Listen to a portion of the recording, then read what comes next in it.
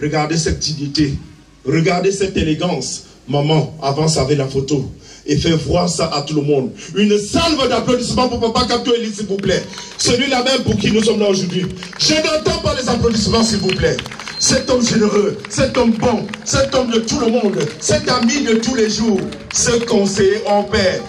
Ma fille, va jusqu'à la fin, va jusqu'en route pour que pas tout le monde Salut papa. On n'arrête pas les applaudissements s'il vous plaît. Même si vous êtes atteint de rhumatisme, vous serez guéri aujourd'hui. Applaudissez s'il vous plaît. Applaudissez pour papa Eli. Vous qui l'avez connu, vous qui l'avez aimé, vous qui connaissez son charisme, vous qui connaissez sa joie de vivre, vous qui connaissez sa, sa gentillesse, son sens du partage, la solidarité qui a toujours caractérisé cet homme, cet homme de compassion, cet homme qui a tout donné à Bangou, cet homme qui a tout donné à Loum, qui a tout donné à Konsamba, qui a tout donné à tous ceux qu'il a rencontrés sur son chemin, sans distinction de race, sans distinction de tribu, sans distinction de personnalité.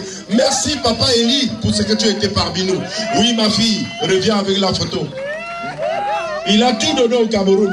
C'est l'un des plus gros opérateurs économiques que le Cameroun ait connu. Et il a œuvré dans tous les domaines de l'économie, boucherie,